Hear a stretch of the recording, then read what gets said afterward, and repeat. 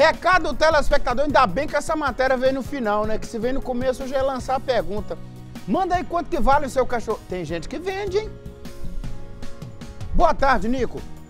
Estou sempre aqui assistindo o melhor jornal da região. Obrigado, viu, Neia? Gostaria que você mandasse um abraço para minha cunhada Maria e para o meu irmão Walter. Eles moram em GV. Desde já agradeço. Neia de Tambacuri. Alô, Walter. Alô, cunhada Maria. Aí, ó, a cunhada que te ama aí, ó. É a Neia. Próxima. Oi, Nico. Boa tarde. Sou a Lara.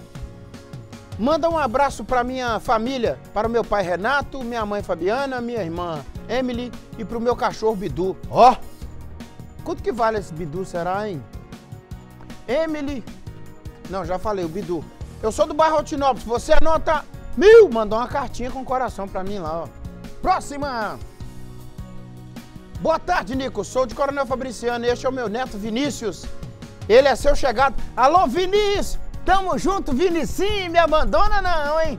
Aí, é, até o final, agarrado comigo até no final lá, ó. Aqui, ó, subindo a letrinha e ele colado, ó.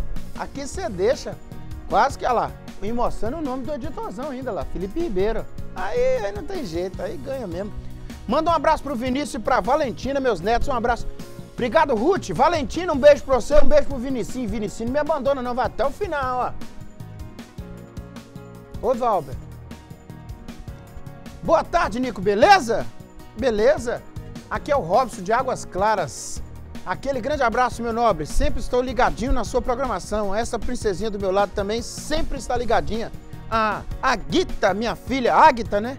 Também. Tamo junto, meu brother. É Aguita o nome dela, né? Aguita ou Aguita. É ela.